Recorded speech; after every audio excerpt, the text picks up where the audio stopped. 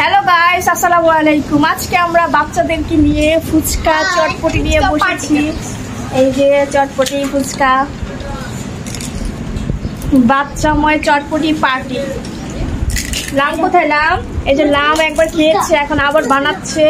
ওর তো খুব ভালো লাগে চটপটি। আর তানজিৎ? হ্যাঁ আমার তো খুব পছন্দ চটপটি। এইদিকে লাবিবা অনেক দুষ্টামি করতেছে, ফুচকাগুলো নিচে রাখতেছে, আবার বাটকিতে রাখতেছে, দেখাই যাচ্ছিল ভিডিওতে। আর আমরা হচ্ছে চটপটি খাওয়ার জন্য বসেছি, এখানে ফুচকা মানে সামনে ছিল, ওই প্যাকেটের এক প্যাকেট ফুচকা ছিল, সবাই চটপটির উপরে দিয়ে খেয়েছিল। আর চটপটির উপরে বেশি ফুচকা দিলে ভালোই লাগে। তো আমরা সবাই একসাথেই ছিলাম, আর এইদিকে ছাদ থেকে নিচে আসলাম এসে চটপটি বানানোর জন্য বাটিতে সব কিছু নিয়ে নিলাম, এক এক করে চটপটির মধ্যে মশলা দিচ্ছিলাম। আর এখানে শসা, তারপর হচ্ছে কাঁচামরিচ সব মিক্সচার করে নিয়েছি। এই বাটিরগুলো আমরা সব একসাথে খাব আর টকটা বানিয়ে নিলাম। টকের মধ্যে শসা দিতে হয় না বাট কে জানি শসা দিয়েছে লাম মেবি তার আমি বিট লবণ দিচ্ছিলাম। বিট লবণ যদি চটপটির মধ্যে না দেই, তাহলে চটপটির স্বাদটা তেমন ভালো পাওয়া যায় না। লেবুও দিয়ে দিলাম আমি একটু। আর হচ্ছে টকের জন্য একটু চিনি দিয়ে দিচ্ছি। বাচ্চারা বেশি টকটা বেশি পছন্দ করে না তাই একটু মিষ্টি টক বানিয়ে নিলাম আমি। আর এইভাবে আমরা চটপটি ফুচকা খাওয়ার জন্য সবসময় বানিয়ে থাকি। আমরা ফুচকা খাব। বাবারে আমি টক নেব না আমি টক খাই না আমি তো অনেক খাই আমি বাড়ি আমি তো দিলাম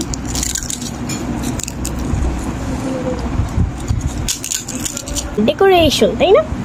এখন আমরা কেমন লাগছে তোমার কাছে চটপটি? বলো। মজা? আমি- এটাতে বিরিয়ানির মশলা দেওয়া হয়েছে। বিরিয়ানির মশলা না তো চটপটির মশলা। লাবিব চটপটি খাওয়ার সময় বলতেছিল এখানে নাকি বিরিয়ানির মশলা দেওয়া হয়েছে। ও চটপটির মধ্যে বিরিয়ানির স্বাদ পাচ্ছে। আমরা এখন চটপটি। পার্টি করতেছি। কোন আমরা পার্টি করতেছি। তোমার কাছে ভালো লাগে? মজা লাগে? এটা খালাম এটা আমাদের। কবে নিয়ে আসো। চটপটি খেলাম আর আমু চটপটিগুলো আগেই সিদ্ধ করে রেখেছিল। আমি শুধু বানিয়ে নিয়েছি। লামও ছিল আমার সাথে। লামের চোখের নিচে একদম কালো হয়ে গিয়েছে। দুই তিনবার স্কুলে যাওয়া লাগে ক্লাস করতে হয়। এর জন্য বেবিটার এই অবস্থা। অনেক মজা হয় আসলে।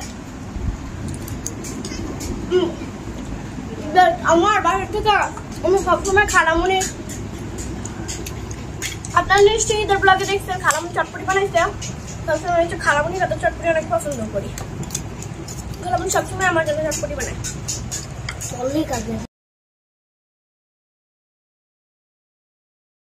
সবার লেখা বানাই না।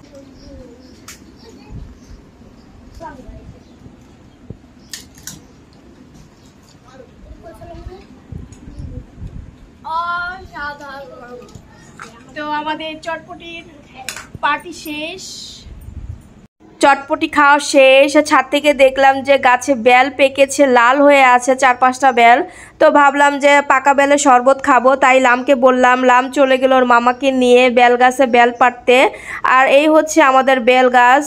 তো ওর মামা চার পাঁচটা বেল পারল গাছ থেকে, আর বেল ছিল না গাছে, কারণ এখন বেলের সিজন প্রায় শেষের দিকে, সবাইকে বেল দেওয়া হয়েছে।